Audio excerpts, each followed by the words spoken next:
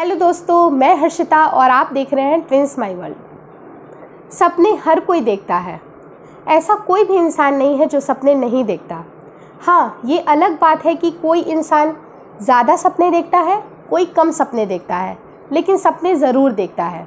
लेकिन अगर गर्भवती महिलाएँ किसी ऐसी चीज़ को या कोई ऐसे तथ्य, स्थान, कुछ भी चीज़ अगर वो लगातार देख रही हैं अपने सपने में, या वो, या तो उनके पति अगर किसी स्पेसिफिक चीज़ को लगातार अपने सपने में देख रहे हैं तो उसका कुछ ना कुछ संकेत होता है। कोई चीज़ें अनुमान लगाई जा सकती हैं कि आपको बेटा होगा या बेटी होगी। कुछ ऐसे इंटरेस्टिंग फैक्ट्स हैं तो उसी के बारे में आज इस वीडियो में डिस्कस करेंगे। तो प्लीज़ मेरे वीडियो को शुरू से लास्ट तक ज़रूर देखिएगा। अगर पसंद आए तो प्लीज़ लाइक करना मत भूलिएगा। सबसे पहली चीज़, अगर आप किसी भी तरह का फल देखते हैं सपने में चाहे वो अमरूद हो, सेब हो, अंगूर हो, अगर वो पेड़ पे लटक रहा है या फिर आप उसे खा रहे हैं या आपके घर में रखी है, आपको नज़र आ रही है, अगर सपने में आप फल को देखते हैं तो मान के चलिए कि आपके घर जो होने वाली संतान है, वो एक बेटा है। जी हाँ ये जो बात बोल रही हूँ हंड्रेड परसेंट सही है। और कुछ ऐसी स्त्रियाँ, गर्भवती महिलाएँ, अगर कुछ वस्तु ऐसे देखेंगी जैसे गोल्ड की वस्तु अगर देखती हैं, चाहे वो आपके कान के बालियाँ हो, झुमके हो, रिंग हो एनीथिंग गोल्ड की अगर है, वो अगर उन्हें प्राप्त होती है।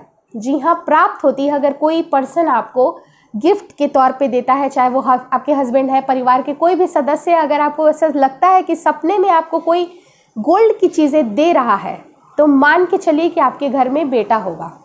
लेकिन जहाँ तक गोल्ड की चीज़ें अगर मान लीजिए कि आपने सपना ये देखा कि आप दूसरे पर्सन को दे रहे हैं तो जो सामने वाला पर्सन है, उसके घर में बेटा हो सकता है या तो कुछ लाभ की संकेत उसे समझा जा सकता है कि उनके घर में कुछ लाभ होने वाला है। अगर आप प्राप्त करते हैं, तब समझ जाना चाहिए कि आपके घर में शुभ आने वाला है, बेटा आने वाला है, लाभ होने वाला है। दूसरी चीज़ सेम इसी तरह से, अगर कुछ, अगर चांदी की वस्तु अगर आप देखते हैं कि आपको किसी से प्राप्त हुई है, जी हाँ प्राप्त हुई है, तब आप समझ जाइए कि आपके घर प्यारी सी लक्ष्मी आने वाली है। जी हाँ लेकिन वहीं पर अगर आप सामने वाले को कुछ देते हैं तो वो जो लाभ है, वो, जो शुभ संकेत है, वो सामने वाले के तरफ़। मान लीजिए कि मैं प्रेग्नेंट नहीं हूँ, लेकिन मैं किसी फैमिली मेंबर जो प्रेग्नेंट है, उसके बारे में मैं सपने देख रही हूँ कि उनको मैंने सोने के आइटम को दिया। तो उनके यहाँ डेफिनेटली ऐसा माना जाता है कि मे बी उनको होने वाला जो बच्चा है, वो एक लड़का होगा। अगर मैं चांदी की वस्तु को देख रही हूँ कि चांदी की वस्तु मैं उनको दे रही हूँ तो मे बी उनको लड़की होने के चांसेस है।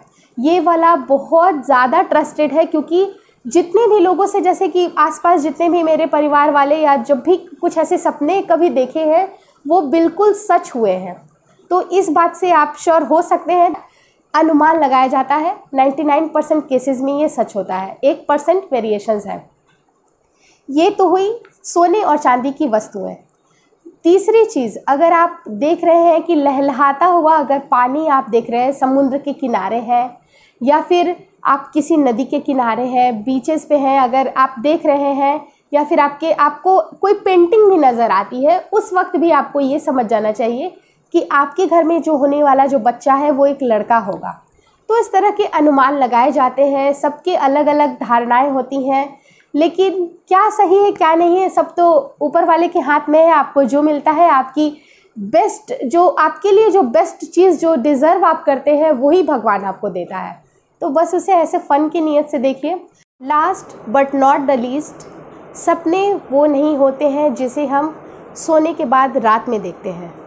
सपने वो होते हैं जिसे हम खुली आँखों से देखते हैं और उसको पूरा करने में हमारी नींद उड़ जाती है।